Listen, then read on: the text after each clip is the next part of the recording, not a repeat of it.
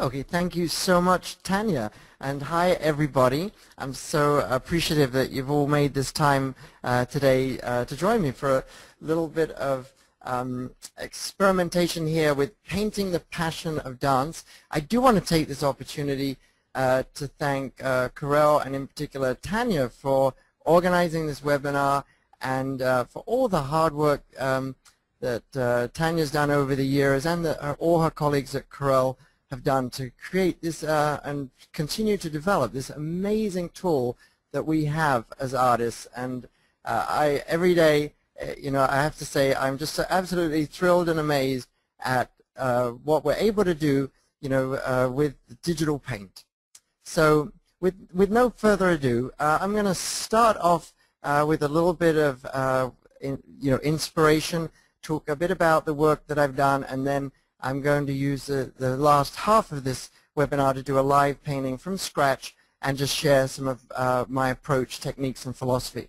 So let's dive in here um, with what I think is one of the, um, for me, one of the most inspirational, powerful paintings of dance, and John Singer Sargent's El Jaleo uh, from 1882.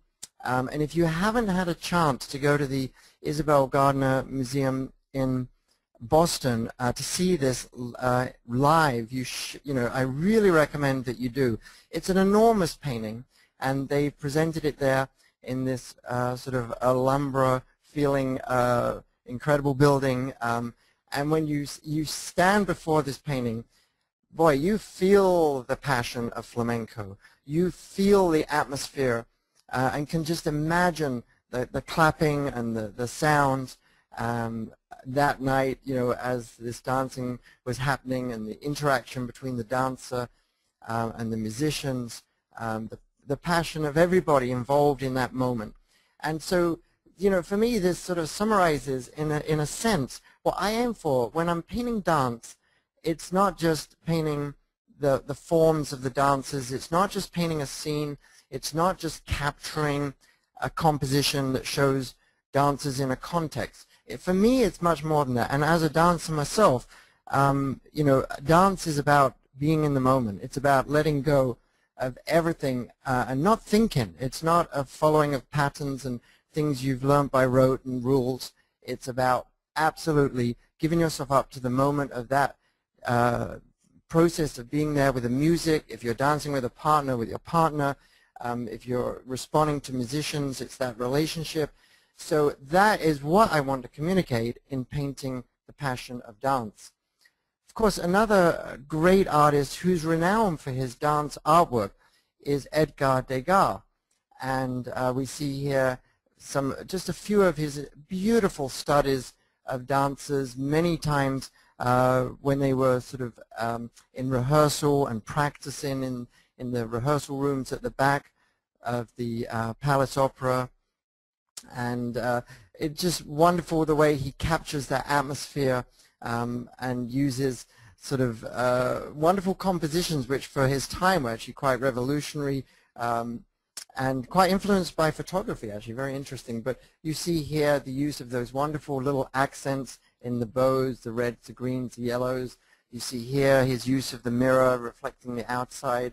Uh, and uh, as is typical with Degas, the way he has elements uh, and people and subjects sort of somewhat cut off at the edges of his compositions. Renoir, of course, did um, also beautiful atmospheric images, and this one, um, a, a, lovely uh, painting, which I'm sure you'll all be familiar with, of the couple uh, dancing in the countryside. Uh, and again, great use of sort of complementary colors there with the orange against the blues. And uh, this is uh, John Nieto, and um, this is uh, an image of a fancy dancer, Native American dance. And I just, well, last year in October, um, had the pleasure of being in Santa Fe. I was teaching actually a workshop named with the same name as this webinar, Painting the Passion of Dance, although it was flamenco dance we were painting. But um, I love the uh, boldness and the color, very influenced by Matisse, the Fauves uh, palette of John Nieto. And also what I love about his approach here, if you look carefully at this painting. First of all, we have this abstract background, which is very reminiscent of Matisse, if uh, anyone's familiar with the Femme au Chapeau. Um, he did these, basically Matisse did wonderful, colorful abstract backgrounds and then painted things on them. Um, but then what I really enjoy about this uh, use of media here with John Nieto is that he's got this essential line drawing superimposed over these wonderful, luscious backgrounds. So anyway, just the sort of thing that uh, I find very inspiring. Um, this is going back uh, uh, a few years for me, but this is a, a, painting I did of swing dancers in the middle of doing uh, sort of improvisational Lindy Hop. But you'll see here I've also uh, use an approach where I have sort of very rough uh, abstract backgrounds and then work with some line work over the top.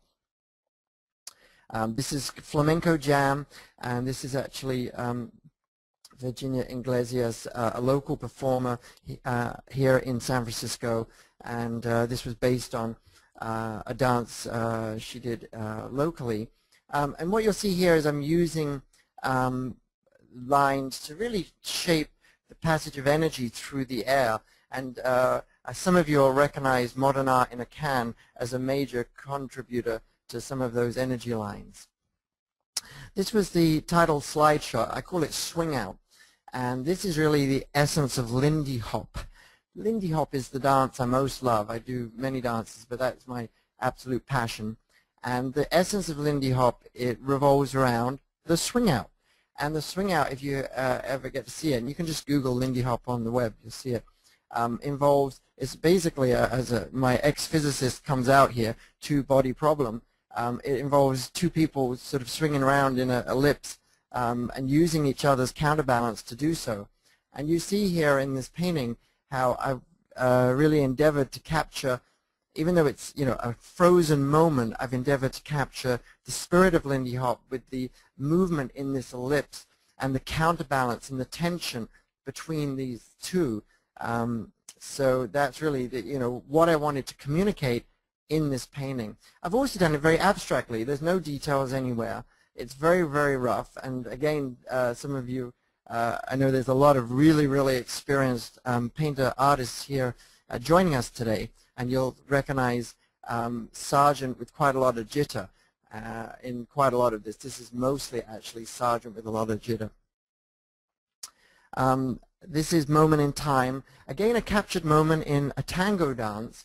Um, and tango, a beautiful dance, uh, all about passion and about the relationship and about two people becoming one. And so that's, again, what I wanted to capture here. Very, very simple um, so based on um, a fairly grainy photo I took in very low light conditions, these are two friends of mine, Christy Cody and Darren Lees. Um, again, tango, similar sort of feel. And this is uh, James and Mariana dancing uh, locally in the Metronome Ballroom, impassioned. And again, just a, a passing moment in the dance, but one which has such a stillness and that's one of the things that's so beautiful with tango is it's, it's a dance where there, there's a, a sort of quietness and stillness to those moments of connectivity. And I had to share this one with you.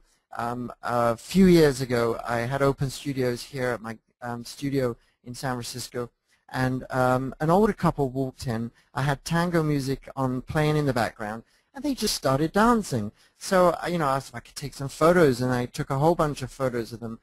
And it was one of those dances where you see the couple, and you could just see right away they've been dancing for, you know, oh, for, you know, decades and decades and decades. They just were like so comfortable and just moved as one. And um, later on, I did this painting. I tried to contact them, um, wasn't able to. I, um, and then years later, I was exhibiting this painting, and um, I managed to uh, contact the lady. She, you know, left a contact uh, information. And in the end, I did manage to contact her. And it, I call this Endless Dance. And it turned out that this was their last dance. He was sadly um, at the end of an illness and passed away soon after. So I'm going to move um, here to actually um, some uh, uh, something quite recent. This was in fact last week uh, I had a painter creativity workshop here in San Francisco. And Uh, the theme was inspired by Degas, and uh, we worked with the local Academy of Ballet. And in fact, we're going to do another one in April 29th to May 4th. So if anyone's interested, uh, come on by. We, will go to the same academy. It's really fun. But what you see here is just, I was talking to the dancers, um, and I'm holding, you can't tell, but I'm holding a book called Degas and the Dance. So talking to them and showing them some of the um, uh, ways that Degas captured dancers. And um, this is just a, a quick sketch um, that I did based on one of the photos from that shoot. And this just shows uh, the uh, uh, photo shoot in action with one, one of my students. And I don't know who that guy is on the left there with the camera. Uh, but anyway, uh, getting in the way there in the mirror. And um, this is uh, one of the dancers, Mona. And just did a little quick um, demo sketch. Most of what I'm showing you here were quick demos, uh, paintings that I did actually as part of the class. So they're not fully developed, they're really more studies and sketches. And still, still needs work, but you'll see I basically, you know, play and experiment all the time. Um, this was uh, the workshop I mentioned in Santa Fe, um, at the Santa Fe Photographic Workshops. And what you see, the location, ah, amazing place, the Scottish Rite Temple, based on the Alhambra. And if you ever go to Santa Fe, this is a place worth visiting. And um, you see here that uh, I, I, went from a photo to complete abstraction. Um, and, you know, part of the essence of, for me, painting the Passion of Dance is getting away from just the detail, the contour, uh, and really diving in more at a visceral level uh, uh, and a, a, in a way a more base energy of the scene. And so that's what I do with paint. Uh, and what some of you may have you know, heard in the past I describe as muck-up or the initial underpainting, that abstraction which you see here done in just a few seconds um, is actually capturing a sort of underlying essence of the scene. And then I sort of bring back more detail with uh, whatever brushes I choose to use. And uh, this is uh, Juan and uh, Emmy. And again you'll see here um, complete abstraction I just really look at the broad blocks of light and dark so if you half close your eyes here that what you basically have is uh, almost as if you were looking through an incredibly diffuse glass at just the blocks of light and dark. And then I start bringing things back, and in this case, playing a lot with texture. I love texture in Painter. And um, it is one of the, most amazingly powerful features in Painter. And um, I remember all those years ago when I first came across texture in Painter, and then I thought, hey, hmm, wonder if I just make up my own uh, sort of textures and start playing with them. And it's like, wow, you know, um, and it has never stopped since, really. You can do so much. And I always integrate relevant textures. So just going back to that one, um, those textures in the background are all from that building. Um, so I sort of weave in this sort of story in texture as well.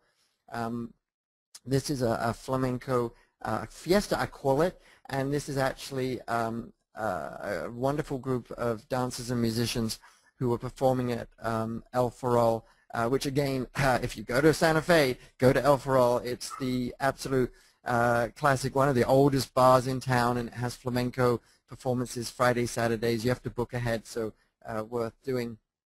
But anyway, that brings us to the end of that little uh, introductory slideshow. Um, I did also just want to show you here um, the uh, dance rehearsal. Some of you have seen that. So this was a painting uh, actually uh, with a lot of the dancers from that same Academy of Ballet. You'll notice the costuming actually.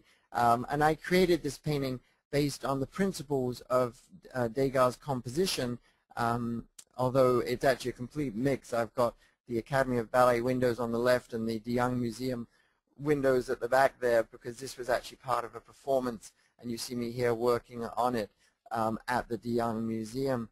Um, and here the same uh, uh, thing, I was being a tableau vivant dressed up, yeah that is me, dressed up as Degas and working also at the Legion of Honor. Um, and you'll see here me uh, that I'm doing Conte sketches on paper as well. and um, translating this sort of simple uh, line drawing approach to Painter uh, sometimes as well. So these are all actually non-digital, they're just Conte crayons um, on paper. So let's dive into Painter and have some fun. So I have a couple of images um, that I'm going to uh, take a look at.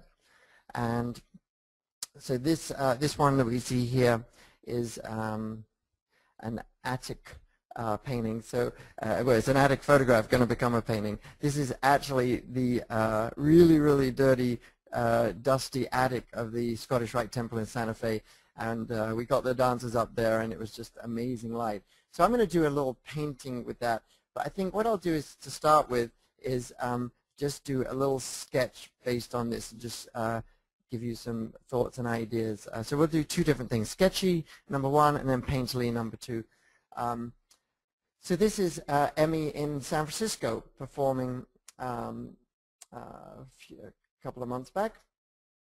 And so uh, my basic approach, no matter what I'm doing, whether I'm going to do a sketchy thing or a painterly thing, is I always like to work uh, in a way that's rather parallel to traditional painting. That is, I like to have a visual reference in the top left.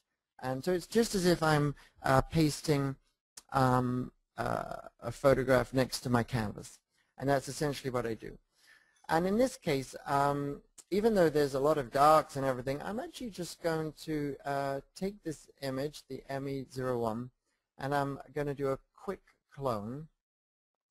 And uh, that basically is a shortcut for a number of different uh, operations all in one. So quick clone uh, makes a duplicate, sets up a clone relationship with the source image, and in my case I've set this to um, uh, to delete the image so it clears the paper to white, and then turn on tracing paper. Um, I'm using um, my work, my latest workspace here, which actually this workspace, um, which you haven't seen yet because I haven't untabbed the palettes. Oh my gosh, look at the palette.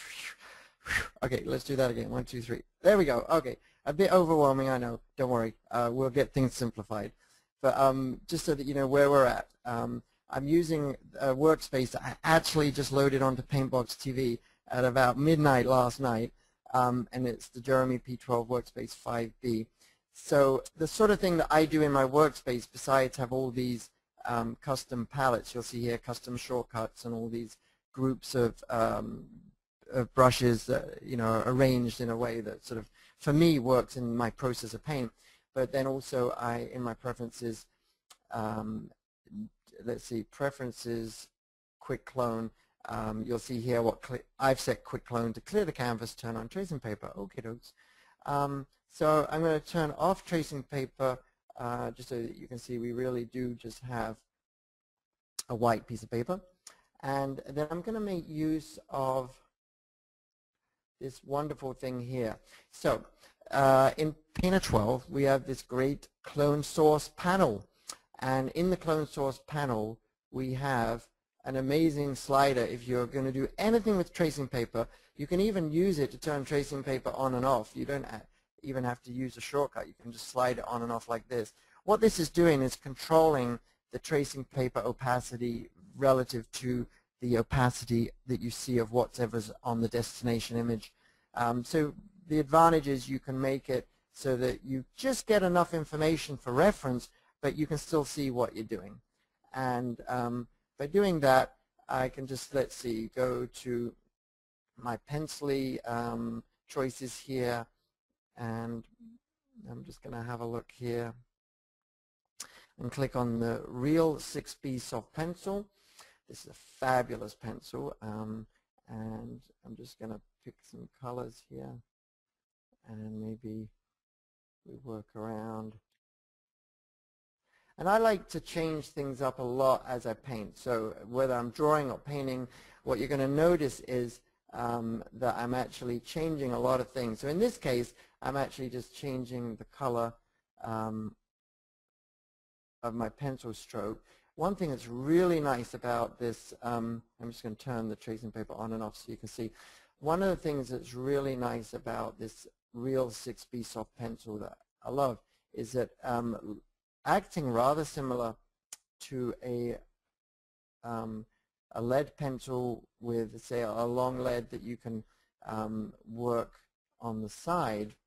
Um, if I have an area of my drawing that I want to fill in, so say I want some shadow down here, so let's go to a sort of uh, mid, slightly lower than mid-tone uh, for some shadow.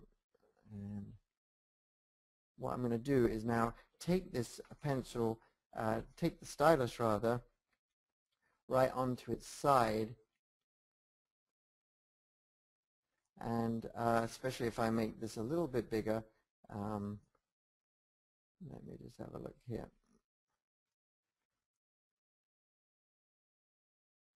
and then we'll just very gently work on the side of the stylus. What you can't see is that I'm actually working um, with the stylus on the Wacom tablet tilted at quite a steep angle. And that's what then gives this soft, broad um, effect. And then just by tilting it up, to a perpendicular angle relative to the um, relative to the tablet surface, I can suddenly get my fine line back. So I can go back and forwards uh, between fine line and not.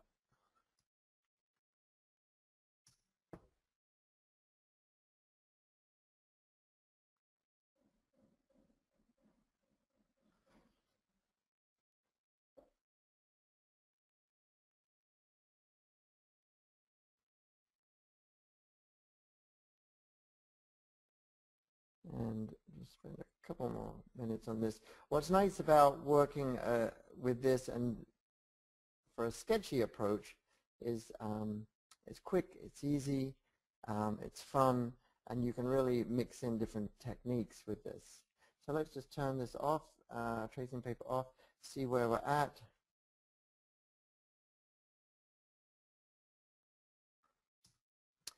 And I'm just going to do, um, I'm just going to do an uh, iterative save here.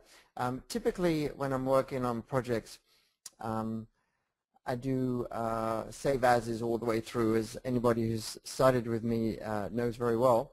But um, just for the sake of uh, the demonstration, I'm going to do an iterative save, and we'll just call this uh, ME001 and just save this as a riff. And then I'm going to get a, a nice big chalky, uh, let's say a large chalk, and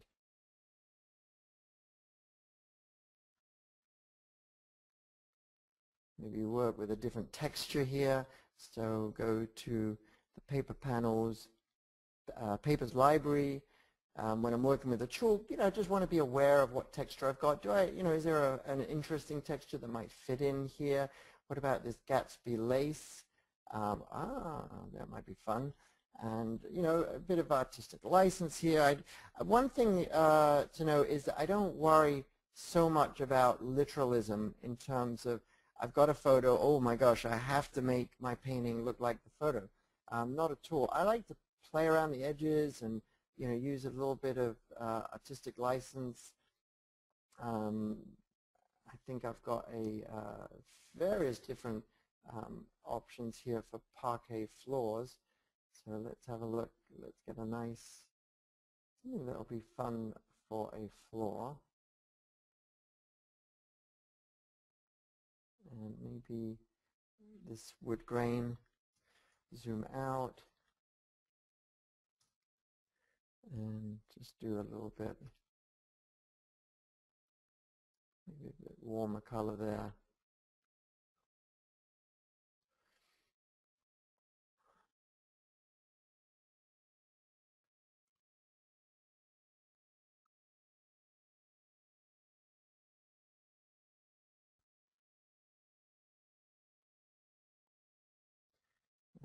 uh, another nice thing about paper grain is you can just continually change it because it's not it's not really a property of the actual um, file itself. So it's essentially a, a, repeating tile that acts as a filter.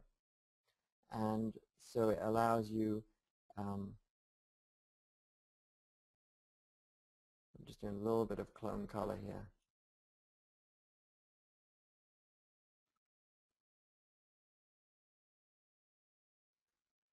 And I'm going to look at some glazes, uh, broad water brush,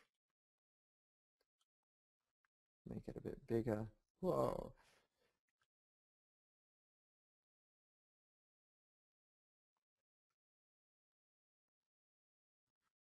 Zoom out.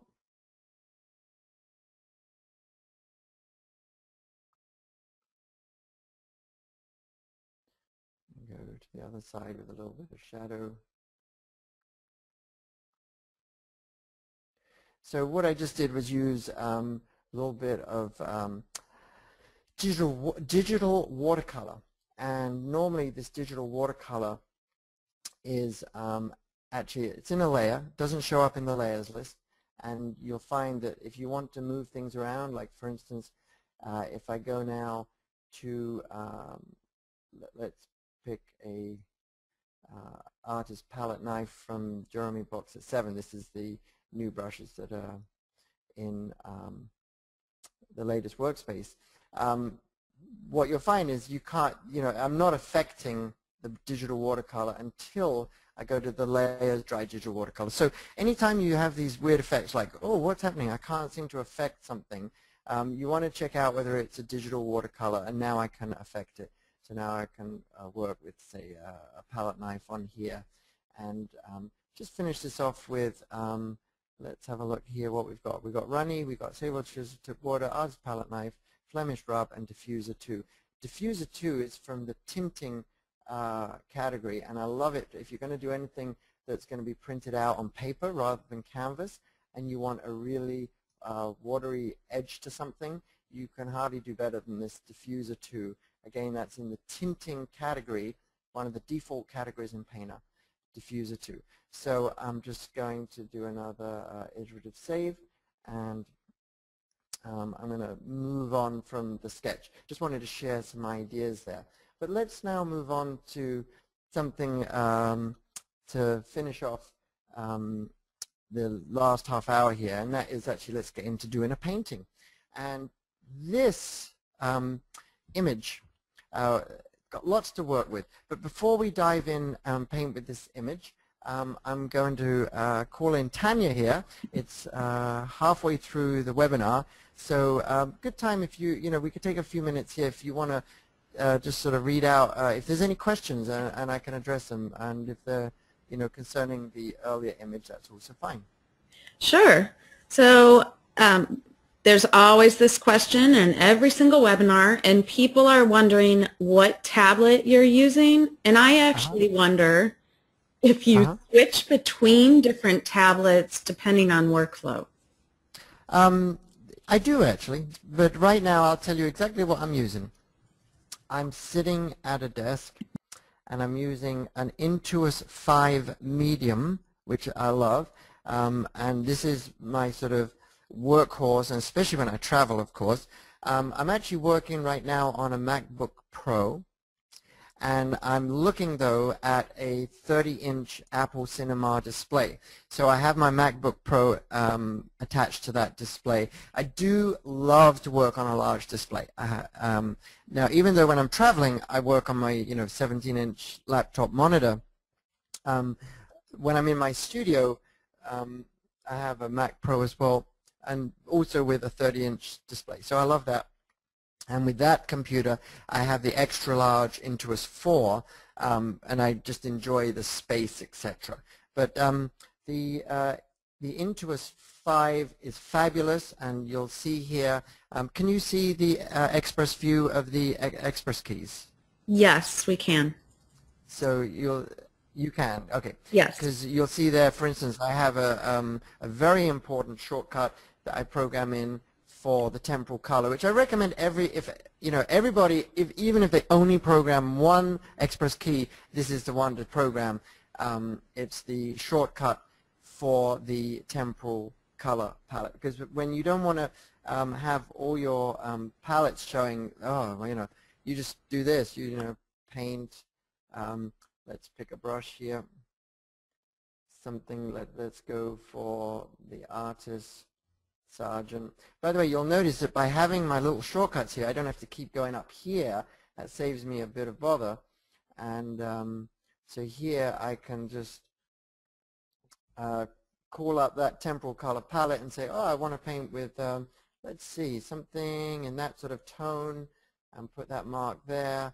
Um, and then I want to get a sort of bit more of a darker color down here. So, you, so it makes it really easy to paint on the fly like that. So anyway, that, that, that's the answer. Long-winded answer to that short question. Any okay. other questions? Uh, Very good.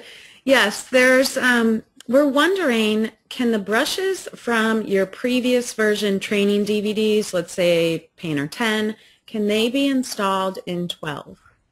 Yeah, they can be, yes. Um, the, the, the best thing is to um, just, to, uh, if possible, just to upload my new um, workspace, which includes um, a, a, a, much expanded set of brushes um, in this um, set called Jeremy Box Set 7. So this is actually all the ones that were in my earlier, or almost all the ones that were in my earlier brush sets, but plus, oh my gosh, I've just been I've just been making more and more um, custom brushes. Um, so it's it, these are over 160. By the way, if you ever see brush names or category names that look wrong, like Jeremy's, what's that? Or uh, real, what's that? Um, there's a little tip here, and it took me a, a, little while to work it out. I was like, oh, has, has something gone wrong with my brushes or the categories? Well, actually, all you have to do is pull this thing to the right. Ah, there they are. So just a little tip there. Caught me out at first.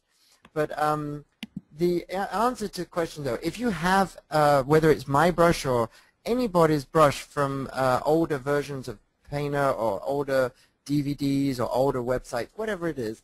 Um, and there's great brushes out there, Skip Allen, David Gell, I mean, there's so many wonderful brushes. Then in Painter 12, they made it really easy. Um, so you just go brushes, import, and now what will happen is you have to know whether you're importing a variant, then you choose brush, or a category or a brush library. Move to the times that will be category. And then when you select category, um, you then can select the um, the category file. The the easiest thing nowadays is for someone to simply export whatever it is they want to share using the brushes export function and then share that file because then you can actually just double click on it and it opens in Painter. It makes it really easy. Otherwise um, you have to import um, using uh, legacy imports. Um, but anyway, uh, again, bit of a, a long-winded uh, explanation there. Do you have anything to add to that, Tanya? I mean, from your own experience of bringing in brushes from earlier versions of Painter and other people's brushes, do you do you have any tips? No, I I think that's the way that you do it. We definitely need to put together a little quick hmm. tutorial mm. explaining that because that is yeah. the number one question that we get nowadays. Okay, well I tell you what, I'm gonna I've got a few new tutorials I want to do on Paintbox TV, um, and I'll uh, include that. Um, I'll make a point to have one that talks about importing brushes and everything. Um, and actually, um, for those of you who are not familiar, uh, I do have a whole bunch of free videos, um, so you don't have to. It's a subscription-based site, but I make sure there's a ton of stuff there that if you just want to go and browse and have a look and I mean, everything I'm showing you here is just, you can just go and uh, access uh, for free. Uh, anybody can. So I make sure there's a lot of stuff there. And I've also, I'm introducing a new section here called Getting Started. So actually that'll be a good video to add um, to my Getting Started. I'm going to build up um, a sort of, you know, a sort of methodical way to get into Painter and to set things up, etc., etc. So anyway, um, and actually while we're here on the web, um, great brushes. This is uh, jitterbrush.com from David Gell. I love his brushes and also Skip uh, does amazing brushes and um, tutorials with, uh, of course, his great on watercolor brushes. Um, And uh, I think we also have uh, Karen's Painter Talk here. So great, great uh, resources uh, to look at. And the, incidentally, the, this is the Corel.com slash Jeremy Sutton page. Um, if you haven't updated your painter, um, I do have here for your convenience um, the 12.1 uh, and the 12.2 update um, download buttons. So um, they actually, uh, well, uh, Tanya can uh, can uh, help us here, but Corel just introduced, uh, I think a day ago, on the 15th, a couple of days ago, um, the newest update, which is a, a, patch for Painter 12, which makes it very, very memory efficient.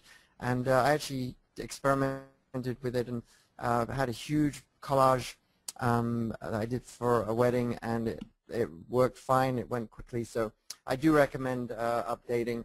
Um, if you're not sure how to, just go Corel Painter 12, check for updates on a Mac, or it would be help check for updates on a PC. Um, uh, Tanya, anything else? Well, I think I'll hold off for now because I'd like to give you the opportunity to um, finish your painting. And anything that we don't address in the webinar, we'll be sure to follow up with. So don't worry. So what you're seeing me do is, uh, again, a repeat of the same thing you saw before. So I make my small, big arrangement and adjust things. And I take the time to do this. Um, you know, one of the things is that, um, actually I'm going to put my finger here. You can't tell, but I just shrunk that down using the touch ring on the Wacom Intuos 5 medium tablet. I find it very useful for continuous rather than the command or control plus or minus, which is uh, jumps are a little bit too much for me. And now I'm going to go to clone. Ah, different, different uh, to before. Because I'm going to do a painting, I want to get into some just sort of more nitty-gritty, painterly stuff. Um, I don't do the quick clone. So quick clone for me, it's brilliant if you're going to end up painting something against white, print it on beautiful watercolor or fine art paper. Quick clone is great. But for anything else, I like to have the image uh, up uh, as a clone copy. And let's just uh, uh pick a color from within it, option click or alt click on a PC. Um, let's turn on here and see what we've got. Maybe make it a bit darker. And I'm going to do edit fill, um, command or control F, fill with, do we want to fill with hands and chicks? No, current color. Got to watch out for that stuff. And um, you know, this is uh, my canvas, but it's a bit plain and uniform. That, of course, is the um, signature of anything digital. It's, it's sort of like nature defaults to disorder and entropy, but digital defaults to uniformity uh, and identical things. So what I want to do is break up that uniformity a bit with some texture. So let's just go uh, have a look at a, uh, something we can at least texturize that background. And now I'm probably going to cover it all up, but all the same, um, it would be really nice to have a texture there. Now, typically, I would work with a texture, say, from the um, Alhambra uh, shoot and have it consistent. In this case, I'm just going to find something that looks interesting. Decaying wood. Hmm. Well, let's just see what that uh, looks like. So, um, and we can introduce the texture into this plain canvas by a number of different means. Um, so under surface control, we can emboss it, apply surface texture um, using the paper. Whoa, that's a bit shiny. Um, does look rather interesting and nitty-gritty. Let's have a look. Yeah, you know what? That'll work. It's it's a and there's a uniformity to it because it's a pattern. It's a repeating pattern, but that's okay. I'm gonna be I'm gonna work with that at least it's just not plain. So we'll just do a save as to begin with here. And um, let me just create uh, a folder here. I'm just going to call it attic.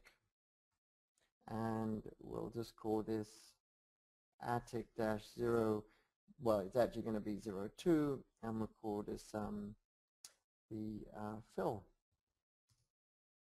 Fill with texture. Don't worry about spelling. Save as a RIFF because while you're painting in Painter, RIFF is absolutely the safest format to save anything in. And um, then we're going to start off with some of these nice juicy brushes from the oily, bristly, dabby um, uh, shortcuts palette. And, um, and I've created, by the way, custom icons. Um, you can do that really easily. You just do a selection on a piece of an image, um, any image that contains a bit of that brush, say, and then all you do is hold down the control uh, on a Mac or right-click on a um, PC and you say capture custom icon. So it's that easy to do. Um, that was one of the things that I loved that was introduced in Painter 12. So let's go for something really, really rough. Ooh, Denso Funky Chunky with a bit of extra color variability. Hmm, what does that look like? Let's make it really big. Ooh, yeah. I like to get uh, things working big and rough uh, in the early stages of the painting, and this is where that um, having that temporal color palette is absolutely essential. Now, this is where I also would recommend, and I'm dabbing here, not just making big brush strokes, I'm actually dabbing. I'm looking to the left, uh, even though I know you can't see my eyes, but they're darting to the left, and I'm uh, actually doing observation-based painting, even though it might look a little bit random. And what I do recommend here is that you use your own color and not clone color. The temptation with Painter is, because it has these incredibly powerful features for working from photographic uh, reference, that allow you to pick precisely the color in the photo, there's a huge temptation to do that. And um, for painting purposes, I highly recommend that you resist the temptation um, because you're going to enliven your painting with colors that go way beyond what's in the photo if you use your own color and pick it as you go rather than um, use the color that is in the photo. And once you start playing with color, you'll and then you use clone color, you'll realize uh, how much you've gone beyond the color in the photo, and the photo starts the photo color starts to seem a bit dull, even when it didn't seem dull in the first place. But once once you've played with color in your image, it's it starts to get real dull. So you don't need tracing paper at this point.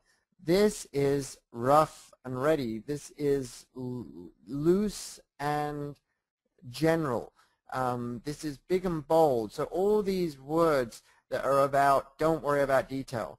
And as soon as you start like trying to do a contour and all that stuff, so uh, this is completely different to the sketchy thing I did with tracing paper before. Because you might say, hey, wait a minute, you did that sketchy contour before and you had tracing paper on right away and all that stuff. And you're absolutely right. And I just wanted to share that technique with you. But when I come to paint, that would that would kill my painting. If I started with that approach, it would it would I wouldn't be able to produce a lively painting. I'd produce something that would be uh, stilted and um, static. Um, at least it would tend to be.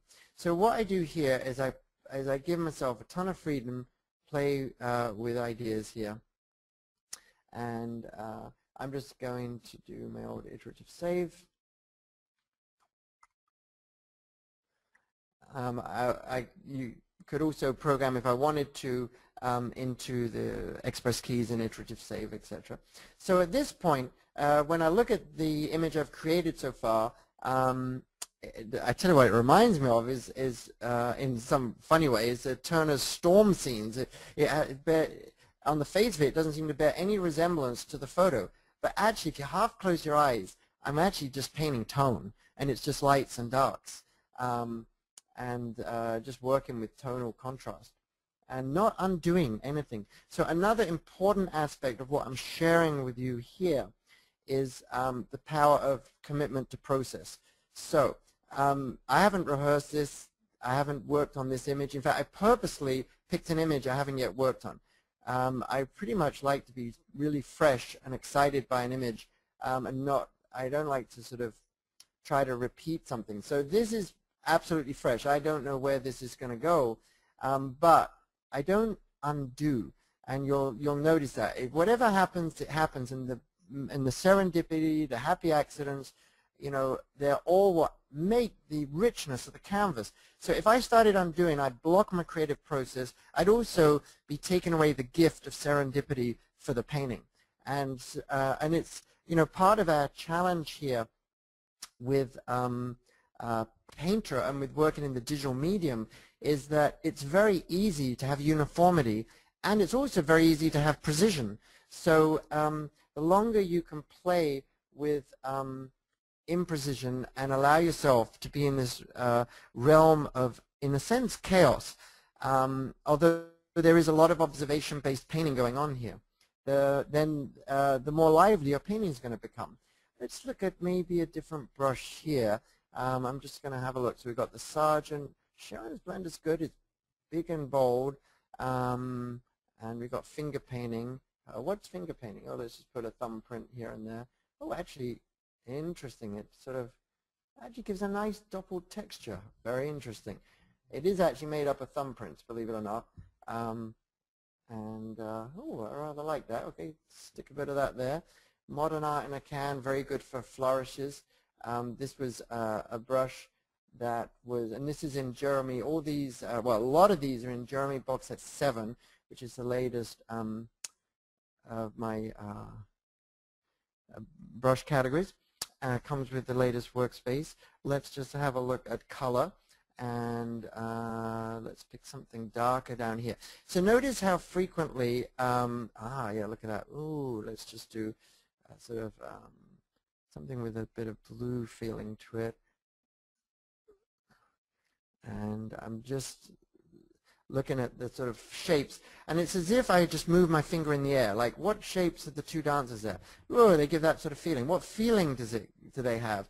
Um, you know, if I was moving my finger and creating like an energy field that represented what I see there, what would it be like? So um, that's enough of that. And let's uh, have a look here.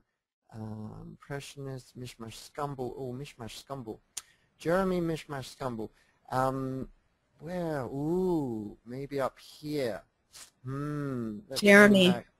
Yep. Oh no, ten minutes left. Yes. That means I got to. Oh boy, I, I told you, Tanya, right? I totally lose track of time, um, and I really get into it. So part of what I like to do is is really let the this process you're seeing unfold here um, go follow its own course for as long as possible. Now, I only have 10 minutes here in this webinar, so I'm not going to get to a completely finished stage of this, but I'm going to do my best to, to get somewhat along the way. Um, but what I encourage you to do is to not feel like you're in a rush to, to get that perfect masterpiece, finish it off, bring all the details in, and even if you're working for a client, and I think that one of the biggest pressures with professional um, uh, portrait artists and uh, photographers who are using Painter is there's this great concern. I, I, I got to make it look just like the photo because I got to please my client. They don't they don't want to look abstract. They don't want to look too crazy. And what that can tend to do is limit the amount you play in your image. So I encourage you to play a lot. And like this is not this is like a major part of what builds up the interest in the background. Um, and just think of the Nieto painting with the fancy dancer, those wonderful backgrounds there. Um, and if you look at any of those Matisses with great backgrounds, you see that as well. So I'm just going to bring in here, let's see, we've got eight minutes left. Is that right, Tanya? Eight minutes? Ooh, I'm going to have to really... Sorry, I was on mute. along quick. eight minutes left. Right, okay. And I want to allow a little bit of time for those questions. So um, we've got some questions. Have we uh, lined up? There are a few questions. Why don't you start just telling me one at a time. I'm going to keep painting and uh, I'll try and address the questions as they come. And just a quick reminder to everybody, what you're seeing here has not involved any clone color at all yet.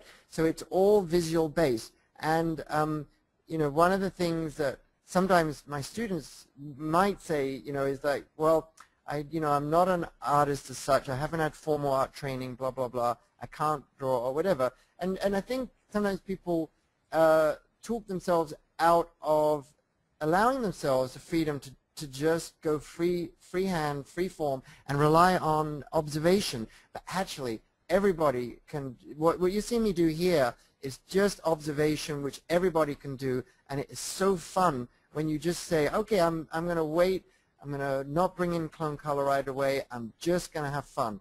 And I encourage you all to do that. Anyway, so carry on. What's the first question? What size canvas are you working with? Excellent question. Excellent question. So let's have a look. First of all, let me do an iterative save. Ooh, there we go. And then let's go to Canvas Resize and have a look. So I've made this pretty small. Um, I just made it 3,000 by 2,000 pixels. And, you know, it says here 240. Let's put it into inches. And uh, let's make this 150 because I often print it around that. So this is, right now it's really small, actually, 20 by 13. Um, but from this, I could later on make it bigger if I want. Um, but um, I would say in terms of advice on resolution, uh, obviously some to, to, some extent it depends on the computer you're using and you don't want to have your brushstrokes too slow. Um, the, uh, the other thing that you fact you want to bear in mind is that the brush size in Painter is, is related to pixels and it's an absolute size. So if you have like a 10,000 by 6,000 pixel huge high resolution image, you'll never get the sort of big brushstrokes you're seeing me use here because the maximum size here will, will still be small relative to the canvas. So you have to bear that in mind. So I would say maximum size, you know, if you're going to end up being like a 40 by 60 inch, you know, large piece, then you might want to work at 4,000 by 6,000 uh, pixels in Painter, but not really bigger than that. Now, if you're working on smaller stuff, then uh, 2,000 by 3,000 upwards is good. So anyway, that's the answer to the question. And let me dive in here for some little bit of um, more detail. And I'm just thinking of what brush. I'm going to use a small Sharon's Blender Wood. Sharon's Blender Wood normally is really good for big, uh, you know, for really, really covering big areas quickly. And let me just see what color I've got. Uh, do you want to fire another question, um, Tanya? Sure. A lot of people asked what the temporal color palette shortcut was, and I put it in. Oh, yeah. Question. So let me just show you. So whether you're on Mac or PC, what you're going to do to find it out, it's very easy. Um, you go on a Mac to Corel Painter Tool Preferences. On a PC, you go to Edit Preferences. And then on Mac or PC, you go down to Customize Keys and then you go and customize keys to other. It is hidden. I mean, I have to admit, it. That's why I do this stuff. On Paintbox TV, I have uh, a, a, whole set of, um, of manual settings for the Wacom Intuos 5 tablet, Express keys, and touching, as well as Cintiqs. And um, so if you go, you know, it, so you can, that'll help you if you're interested. But what you do is you go to Shortcuts Other, and you go all the way down to the bottom, and somewhere near the bottom it is sitting there. There it is, toggle temporal color palette. On a Mac, the default is Option Command 1, and on a PC it will be Alt Control 1. So I hope that uh, helps there. That's very helpful. Here. Okay, excellent. Any other uh, questions? Do you end up resizing your image afterwards, or do you just print as I think you mentioned at the size that um, it, it all depends. Um, sometimes I do resize and um, just going in here. Again, I haven't yet used clone color because I haven't felt the need to yet. Um, I'm just looking at lights and darks. Ooh, there we go. Um, but you know, I, am I'm, um, I'm pretty loose with my um, uh, resolution. So I print at like about 150. Sometimes I print higher, but um, typically I print about 150 and it works fine. You know, it seems to look look fine. And um, while I'm painting, I'm careful not to change resolution because then you get into real trouble if you are doing tracing paper. So for instance, um, you know, you want to uh, look through at the original photograph and I've probably got the, there we go. Um, but the, um, where was I, Tanya? I was talking about resolution, right? Yes, yes. Yeah, so I, I do sometimes size up, but it wouldn't be till I've finished painting. Um, let me just get a little bit of that Sargent, and we'll do some final detail. And so let's do an iterative save. I've got just a couple of minutes left. So, okay, so ju just because I think it's important for everyone to see how does this all work. So I've now got a Sargent brush and I'm going to, let's first of all just pick a color that I feel like. So this color, pick up the highlight there. Um, and now I'm going to pick up a little bit of color for positioning from, from within the image. Um, to do that, I'm going to do two things. I'm going to bring this back and click on clone color. See that goes gray, the color wheel. Tab it away. I'm using the tab key all the time. I'm then on a Mac going option click. In the original image that would be alt click. And you see that then um, I'm actually picking up uh, color from the source photo and the position is indicated by a crosshair. I should add one thing because uh, now and then you will need to know this. If you ever find that it's off register, then just make sure at that instance that you go on the cloning panel to normal where it's a zero and it'll be fine. So that just registers the positioning so that when you're working on a destination image, it's registering at the right point on the source image. Of course, this order uh, is predicated on the fact that they're the same pixel size exactly. So if you resize an image, um, it's very easy to accidentally um, to accidentally uh, go off register and you'll think, hey, how come the crosshair is in the wrong position? And so you just you just have to watch out for that. Um, so I'm just going to do a little bit uh, here.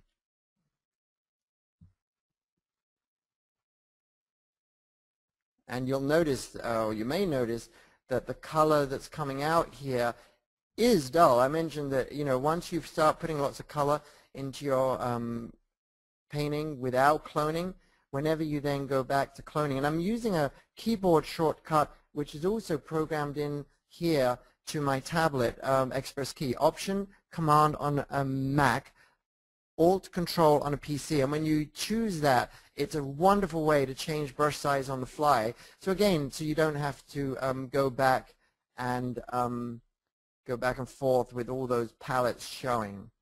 Any other questions? We're almost at the end here, so I'll, I'll squeeze in another one or two. Sure.